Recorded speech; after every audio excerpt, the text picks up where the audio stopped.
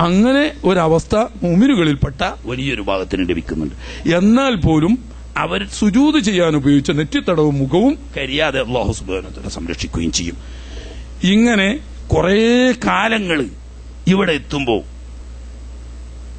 കുറച്ചാളുകളെ ഇതുള്ളൂ ഈ ആനുകൂല്യമുള്ളൂ ബാക്കിയുള്ളവരെപ്പോഴും അതാ അനുഭവിച്ചു കൊടുക്കുക മോമിനുകളും നരകത്തിൽ പോകുന്നവർ തന്നെ ഒരു മർത്തവക്കാരല്ലല്ലോ വ്യത്യസ്ത പദവിക്കാരാണ്.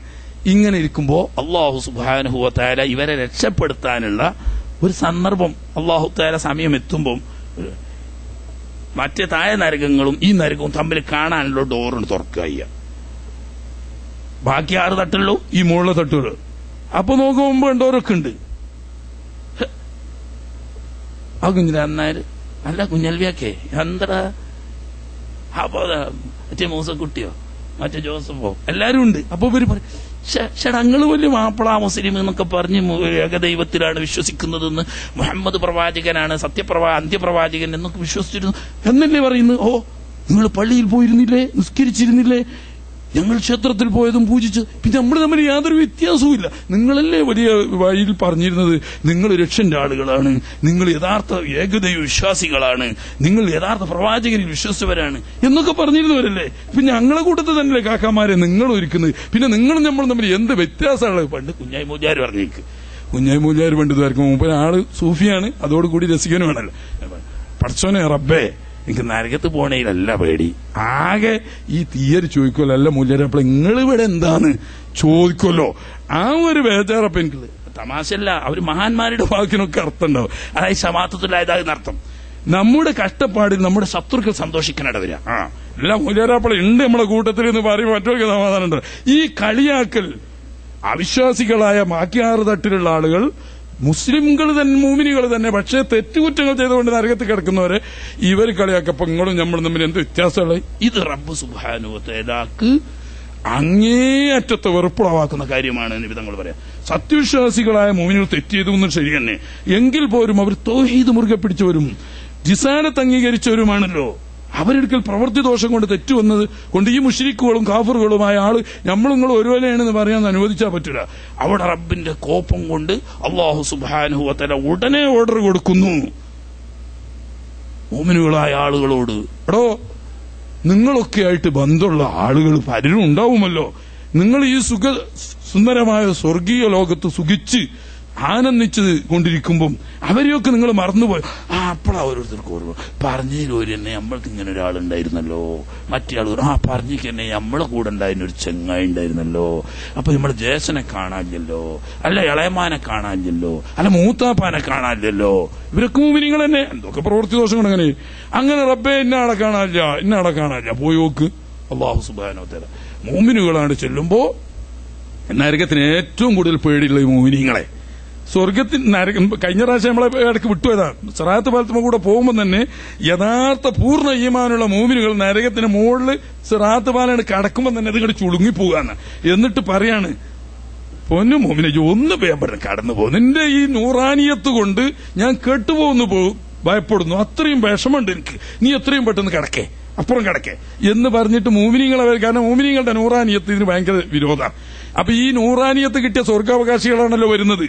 അവർ വരുമ്പോ ഇഷ്ടം പോലെ യഥേഷ്ടം അവർക്ക് കയറി നടക്കാം സ്വർഗത്തിൽ അവരെ ശിക്ഷിക്കാനോ അവരെ ചൂട് കൊള്ളിക്കാനോ ഒന്നുള്ള അനുമതി നരകത്തിന് നരകം സ്വന്തമായിട്ടൊന്നും ചെയ്യില്ല. എന്തും അള്ളാഹുവിന്റെ കൽപ്പന അനുസരിച്ച് അള്ളാഹുക്ക് വഴിപ്പെടുന്ന സൃഷ്ടികളിൽപ്പെട്ട ഒരു സൃഷ്ടിയാണ് നരകം. അല്ലാതെ ഒന്നുമല്ല അള്ളാഹു ശിക്ഷിക്കാൻ വേണ്ടി സൃഷ്ടിച്ചതാണെങ്കിൽ എങ്കിലും അള്ളാഹുവിന് വഴിപ്പെടുന്ന അപ്പൊ മോമിനുകൾ ഓരോരുത്തരും പോയി അവരുമായി ബന്ധമുള്ള ആളുകളെ കണ്ടുപിടിച്ച് അവർക്ക് വേണ്ടി ഷഫായത്ത് ചെയ്ത് രക്ഷപ്പെടുത്തിക്കൊണ്ടിരിക്കും. ഇങ്ങനെ ഷഫായത്തുകൾ നീണ്ട രോഗം. മുമ്പ് കുറച്ച് നമ്മൾ പറഞ്ഞതാണ്. ഇനി ഇൻഷാല്ല സ്വർഗത്തിലെത്തുമ്പോൾ അവിടെ വെച്ചിട്ട് നമുക്ക് ബാക്കി പറയുകയും ചെയ്യാം.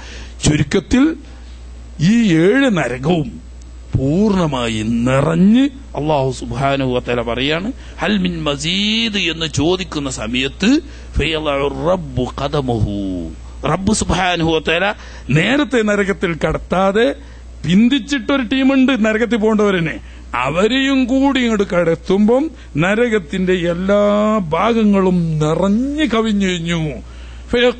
വ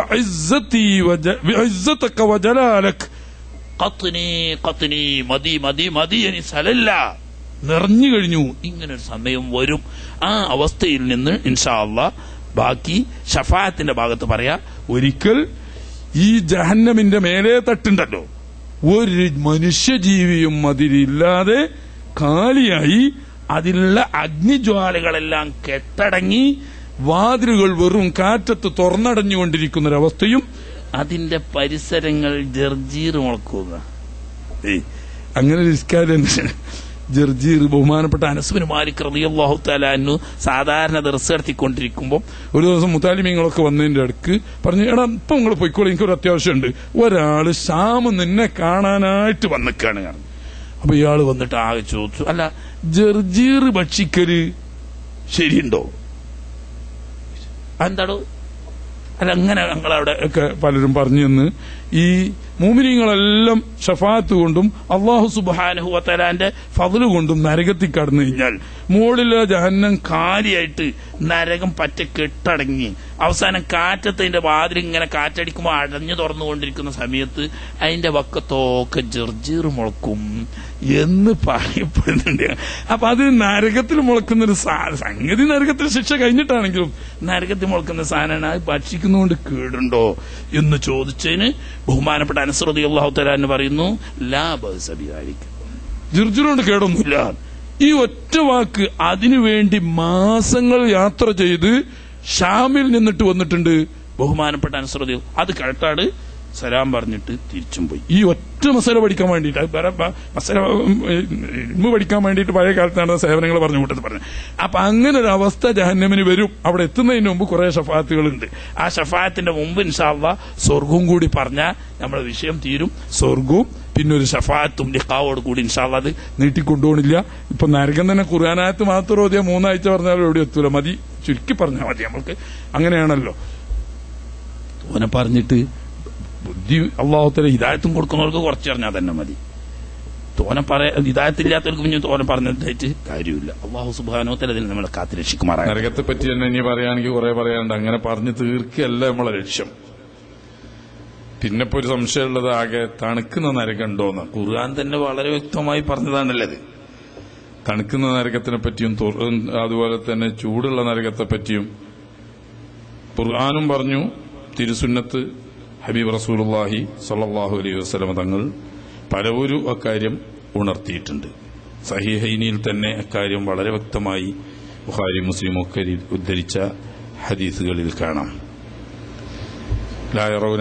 ശംസം വല സംഹരീറ എന്ന് പറഞ്ഞിടത്തുള്ള സംഹരീർ കൊണ്ട് ഉദ്ദേശിക്കുന്നത് മനുഷ്യന് താങ്ങാവുന്നതിന്റെ അപ്പുറമുള്ള അതിശൈത്യത്തെ സംബന്ധിച്ചാണെന്നും അള്ളാഹു സുബാനുഭവത്തേല നരകത്തിലെ ശിക്ഷയെ രണ്ടായി വിഭജിച്ചിരിക്കുന്നുവെന്നും അതിൽപ്പെട്ട ഒന്ന് ഈ തണുത്ത നരകമാവുന്നു എന്നും. എല്ലാ അർത്ഥത്തിലും രണ്ട് തരത്തിലാണ് നരകത്തിലെ ശിക്ഷ. ഞാൻ അതിനെ സംബന്ധിച്ച് ഇന്ന് വിശദീകരിക്കല്ല എല്ലാ അർത്ഥത്തിലും രണ്ട് തരത്തിലാണെന്ന് പറഞ്ഞാൽ ഒന്ന് നരകത്തിൽ വസുക്കു മാ അൻ ഹമീമം ഫഖത്താഅഹും മുമ്പ് നമ്മൾ പറഞ്ഞു അത് അവിടെ ദാഹം കൊണ്ട് അസഹ്യമായ ദാഹം കൊണ്ട് എരിപരി കൊള്ളുന്ന മനുഷ്യൻ അതിലേറെ വെറും മുള്ളു മാത്രം നിറഞ്ഞ വലിയ എന്ന് പറയുന്ന ഉണങ്ങി വരണ്ട കൊടുമുള്ളു കൊണ്ടുള്ള ഭക്ഷണം ആ ഭക്ഷണം നൽകപ്പെടുന്ന സമയത്ത് അത് തൊണ്ടയിൽ കെട്ടുമ്പോൾ താഴോട്ടിറങ്ങാൻ വെള്ളമല്ലാതെ മറ്റു നിവൃത്തിയില്ല എന്ന് വരുമ്പോൾ വെള്ളത്തിനു വേണ്ടി കരഞ്ഞ് ദീർഘകാലം കരഞ്ഞ് അള്ളാഹുവിനോട് അപേക്ഷിക്കുമ്പോൾ കൊടുക്കപ്പെടുന്ന വെള്ളത്തെ സംബന്ധിച്ച് കഴിഞ്ഞ പ്രാവശ്യം നമ്മൾ പറയുകയുണ്ടായി.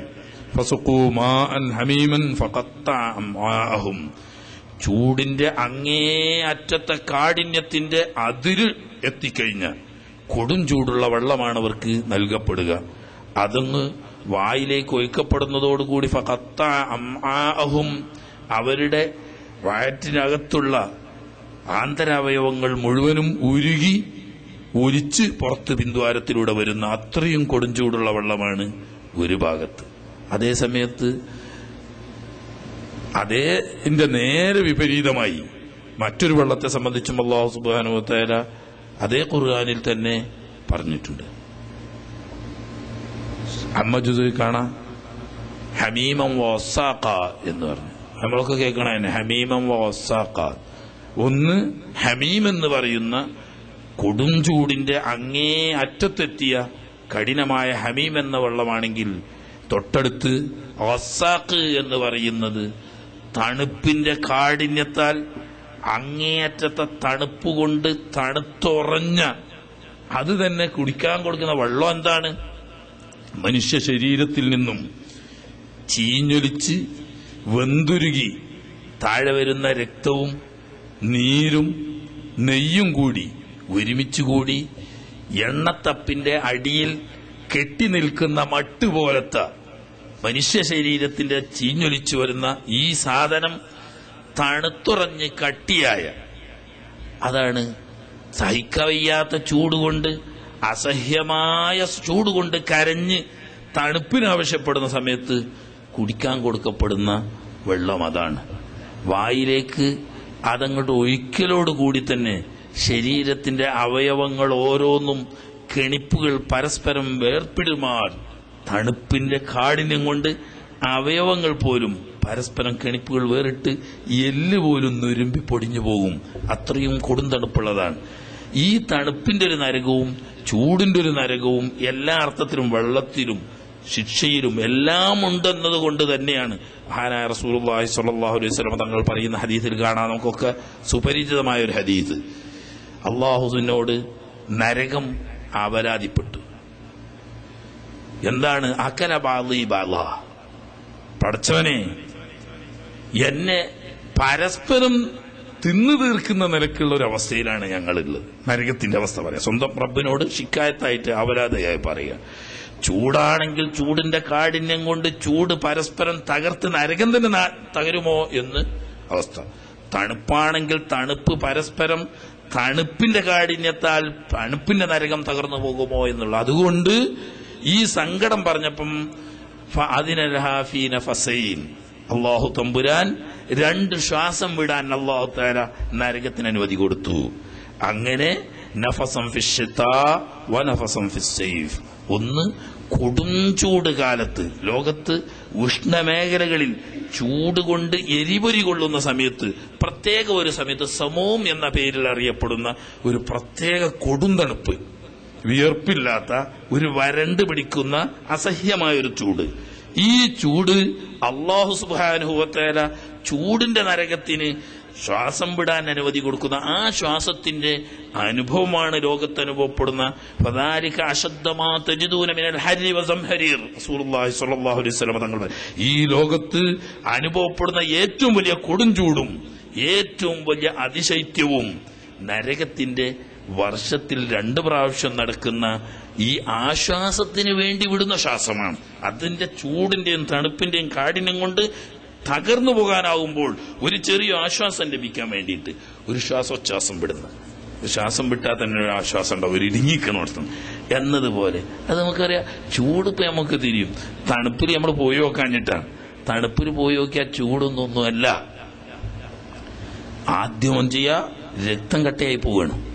ചൂടിന്റെ കാഠിന്യം കൊണ്ട് നമ്മൾക്ക് അസഹ്യമായ അസ്വസ്ഥതയും വിഷമങ്ങളും ഉണ്ടാകുന്നുണ്ടെങ്കിൽ പോലും രക്തം കട്ടയാകാതെ നടക്കുമ്പോഴാണ് ശരീരത്തിലെ ഊഷ്മാവ് പൂജ്യം ഡിഗ്രിയിൽ നിന്നിട്ടും വളരെ കീപ്പോട്ട് പോയി.